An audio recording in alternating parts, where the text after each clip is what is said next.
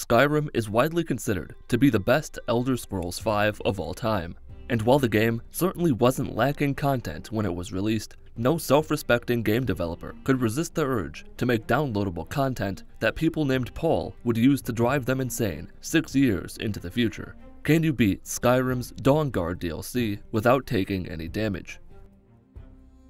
Unlike Fallout New Vegas, Skyrim's DLC doesn't tell you what level you should be before you start it.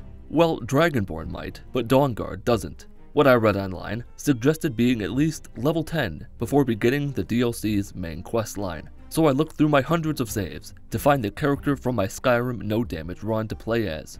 In my New Vegas DLC runs, I always made my character as generic as possible by making all the skills an equal level before starting the DLC, because Skyrim's leveling and perk systems are significantly different from New Vegas's, I decided to not start Dawnguard with an averaged out character.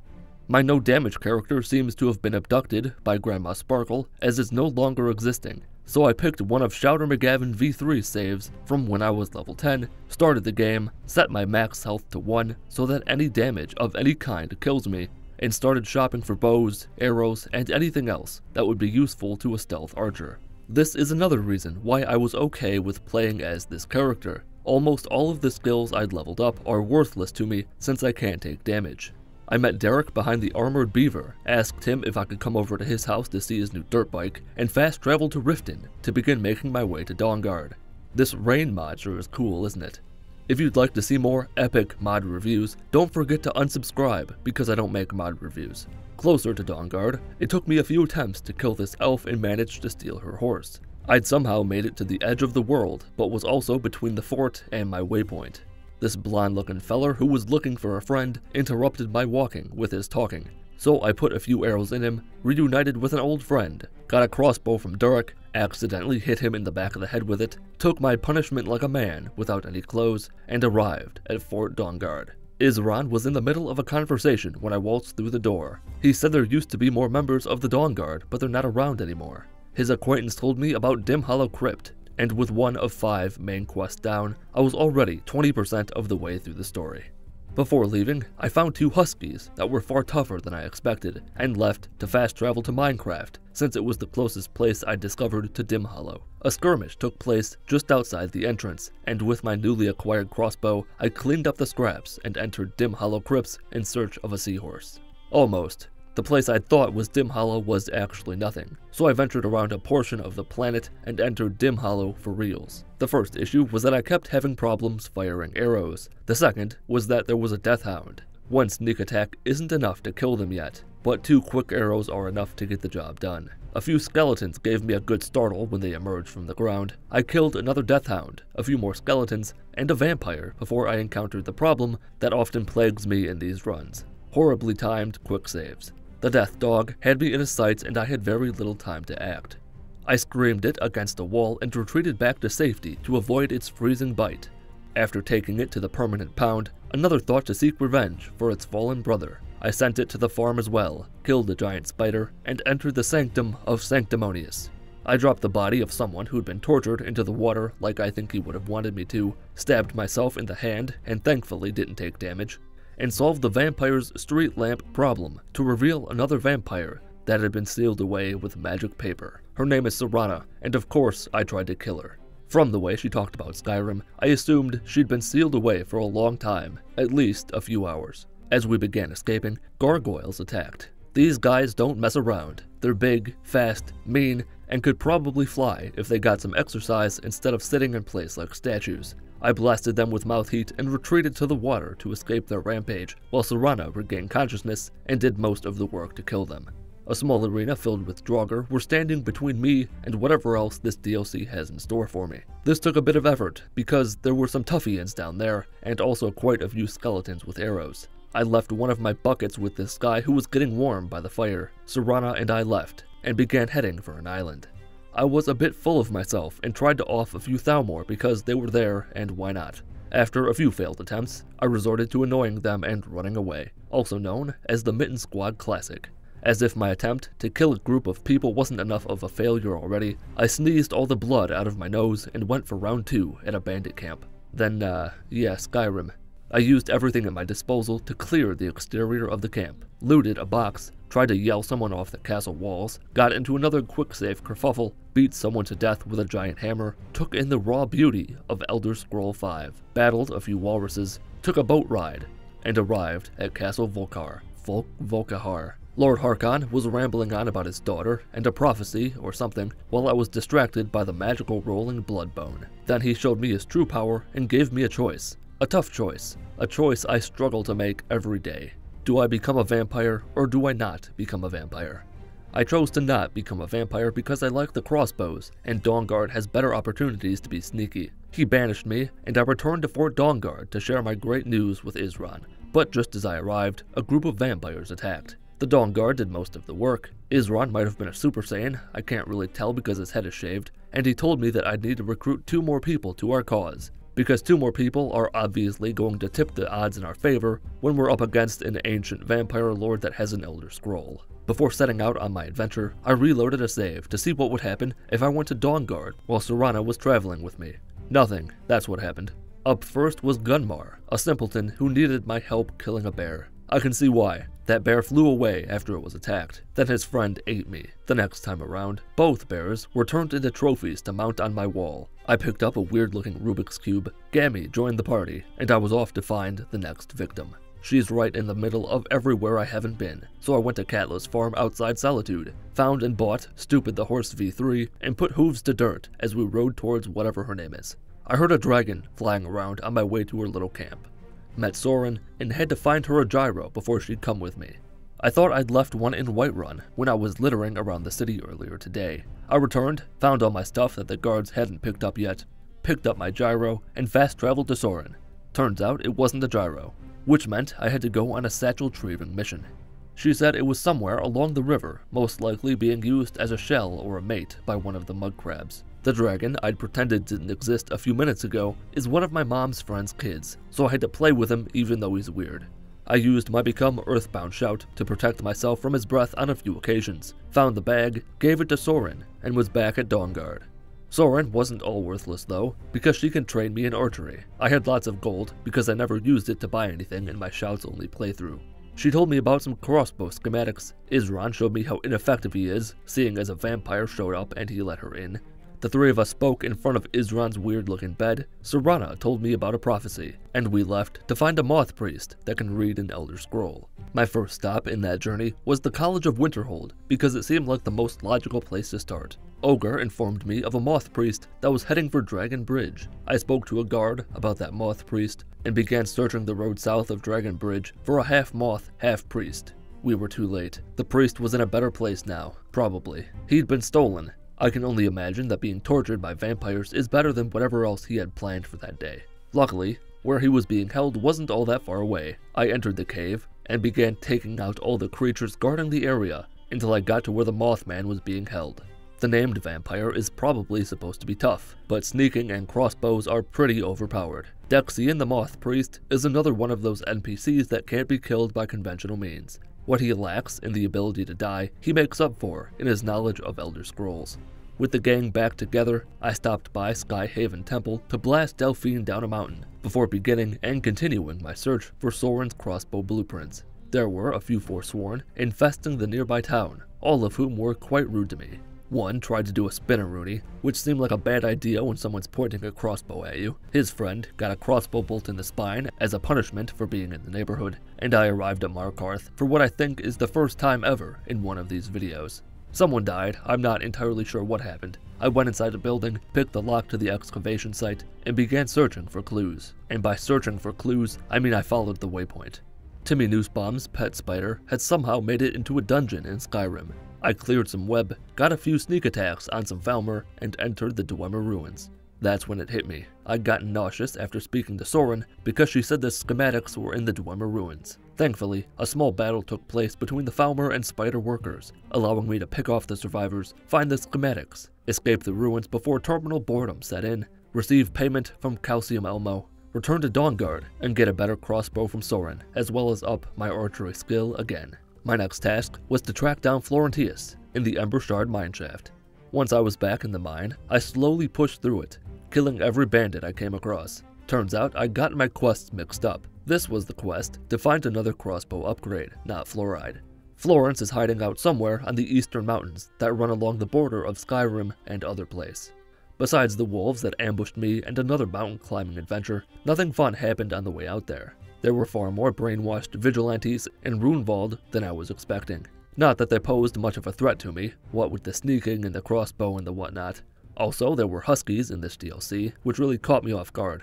I eventually found the room where Florentius was being held, killed his captor, tried to kill the man himself, which once again didn't work, and we agreed to meet back at Dawnguard for some tea and.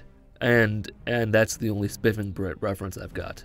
Back at Fort Daylight, I upped my archery skill for the third time and told the Moth Priest to go ahead and read the Elder Scroll. I tried to sneak a peek, but screen looking isn't allowed in this dimension. Serana informed me that we'd need to find her mother, Valerica, and to do that, we'd need to sneak into the vampire castle. A stealth mission? Are you kidding me? I was fucking made for this. The entrance we took was around the side and guarded by dead things. Then we entered the castle itself and began the long process of pushing through the neglected water tunnels. Enemies are aplenty down here demon dogs, feral vampires, hooded skeletons, bear traps, and more all tried, and succeeded, in a few instances, to impede my progress. Once two bridges were lowered, we made it to the courtyard where a puzzle needed to be solved. Luckily, I was on the scene with my incredible intellect and was more than prepared to find the shapes and put them in the right hole. The moon dial activated, a secret passageway emerged, and we were back in the game. The next castle section provided affordable housing to more foes, namely gargoyles, which are still tough and annoying as ever. My usual tactic for dealing with them is a sneak attack with a crossbow, fire breath, and another crossbow bolt while they're stunned from the flames. That doesn't work so well when you're in the middle of a gargoyle dinner party and you're the main course. The strategy guide's recommended strategy is to close the doors and let Serana do the hard work, then open the doors to take a shot or two. It worked like a charm, and before long, we found ourselves in her mother's laboratory, where I gathered an assortment of ingredients necessary to open a portal to the Soul Cairn. Are you ready? Things are about to get fun. There are two ways to get into the Soul Cairn. You can become a vampire, or part of your soul can be captured in a soul gem. I chose to have part of my soul trapped because I didn't become a vampire earlier, no point in being one now. I then entered the soul cairn and dropped dead. When Serana says you'll become weakened, she means it. So the only option is to become a vampire, which sucks. In the soul cairn, I met Serana's mother, who was surprised to see me, and her daughter, probably more so her daughter than me. She explained that to get an Elder Scroll, we'd need to kill the three Boneyard Keepers that are keepering the magic shield up. They're big and formidable, but surprisingly not the toughest things to kill once you put your back into it.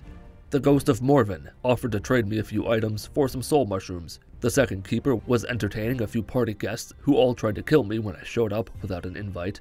I got into some trouble with a pack of wild bone men who wouldn't leave me alone. I found Arvak's skull, returned it to the owner, and got myself the immortal steed known as Stupid the Horse Mark II. The last keeper was atop the tallest tower in the land, and was also relatively easy to kill.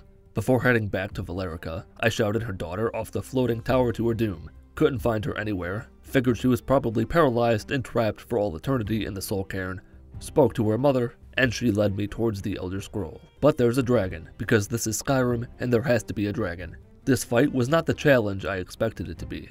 Durnehviir rarely did any ranged attacks, and when he did, I used to become unethical shout to protect myself. The crossbow and my immortal companions helped me slay the beast rather quickly. I retrieved the Elder Scroll. The dragon returned and told me a sob story about how he'd been trapped in the Soul Cairn for so long. I spent a few years looking for soul sponges to give to Morvel the merchant, realized what a waste of time that was when he didn't have anything useful. I'd left the Soul Cairn forever and was ready to return to Dawnguard.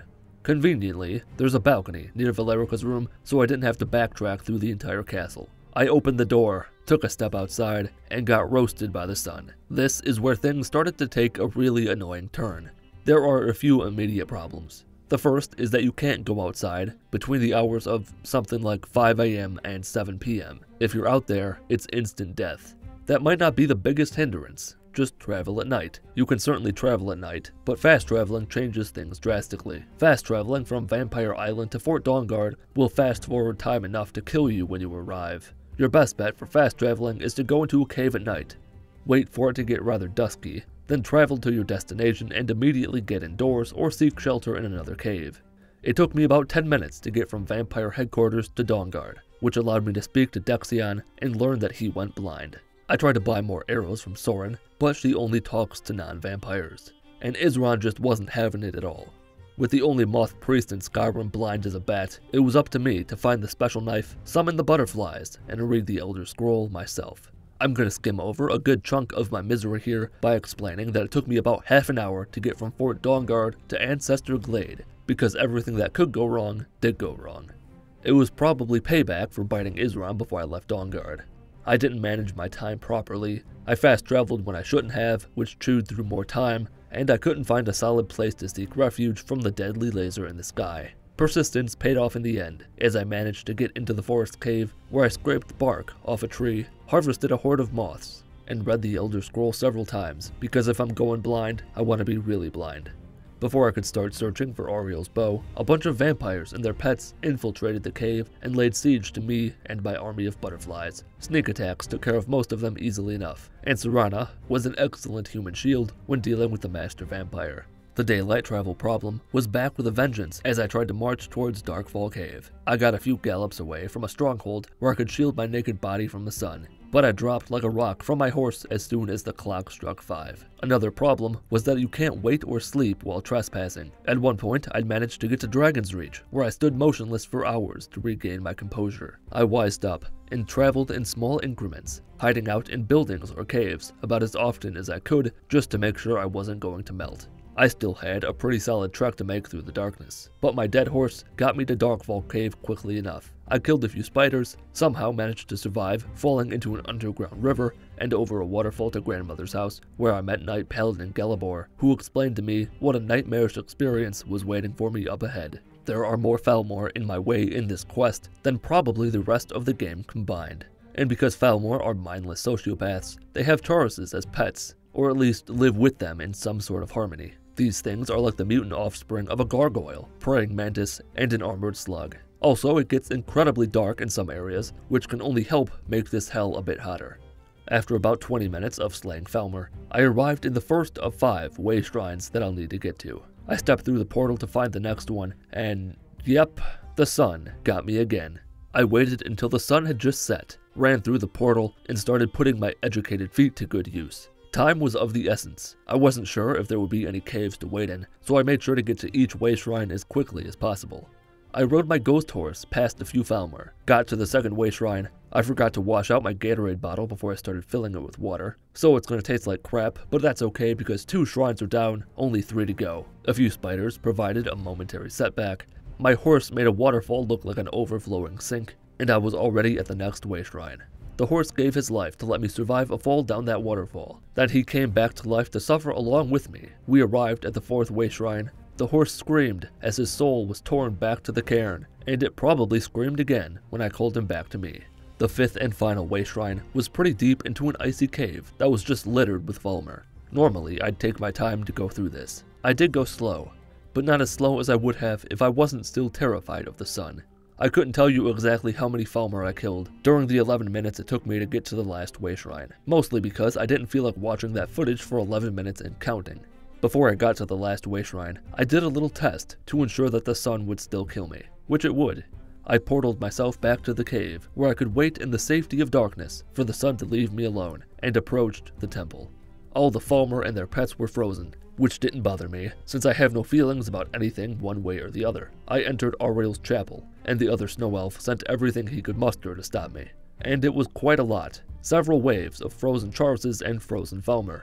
Tripping over an icicle, however, is as deadly as anything else I've ever encountered in this run. The elves' last line of defense was an ancient frost Atronach, which I took out from afar. He retreated to the balcony, where thankfully it was still dark. Serana got angry when he explained more about the prophecy, and a fight broke out. The Archcurate can take a lot of punishment and can dish it out from a ridiculous range. My current strategy clearly wasn't going to work. A close range fight is a death sentence.